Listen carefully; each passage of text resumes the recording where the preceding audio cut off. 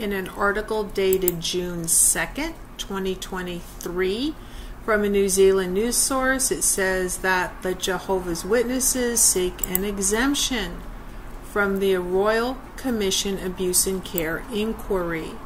You might remember the Australian Royal Commission's investigation into sex abuse, child sex abuse in institutions. It happened in 2017. It included religious institutions like the Jehovah's Witnesses, and that investigation and inquiry issued its report. It's when governing body member Geoffrey Jackson testified as well as JW branch officials explaining their policies and their two witness rule in cases of child sex abuse and why they don't report it to local authorities unless I guess there's a specific law that says they has to they have to but they always report it to the Watchtower's legal department that then hushes it up. Okay, this article is about an inquiry into the abuse in care. It says that the Jehovah's Witness Church has filed legal action to be exempted from the statewide investigation into sexual and other abuse. It is seeking a judicial review and high court declaration that the church does not assume responsibility for the care of children, young people, or vulnerable people. The Royal Commission of Inquiry into Abuse said the church was arguing there were no instances of abuse within it that fall within the scope of the inquiry. The Commission has emailed abuse survivors from the church to say it is treating this as a priority. It said it acknowledged the news may distress them and they had its support.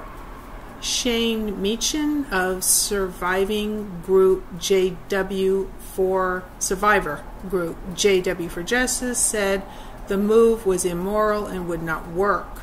They don't care about the ones that have been abused. They only care about their name, he said. The argument was based on the JW's lack of bricks and mortar facilities for young people.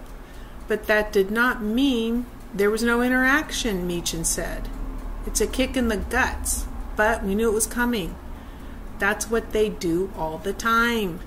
They have not succeeded in being able to squash the commissions from including them church, mean, church meaning Jehovah's Witnesses, spokesperson Tom Pesa Pakovsky said the Jehovah's Witnesses had cooperated since 2019 with the Commission, consistently explaining that the religion of Jehovah's Witnesses does not and never has taken children, young people, or vulnerable adults into care. Therefore, the religion of Jehovah's Witnesses does not fall within the scope of this inquiry. Despite repeated requests, the Commission has failed to present valid reasons as to why it disagrees. They had gone to the High Court, in a, the spokesman said in a statement today. A spokesperson for Survivors Network, Steve Goodlass, said the concern was other churches coming in behind the call for a judicial review. Churches learn from each inquiry and become more sophisticated as they go. The Survivor Network had earlier raised the worry the Commission might be constrained in looking at bricks and mortar institutional abuse. However, the courts have upheld historical abuse of children when a member of the institution abused them in their own home. That's the end of the article. So, do the Jehovah's Witnesses Society have a valid rebuttal here to this Australian inquiry? Should they be exempted? It is true they have no brick and mortar buildings where children or anyone is actually cared for.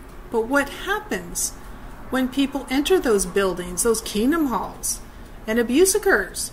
What's a recourse for victims?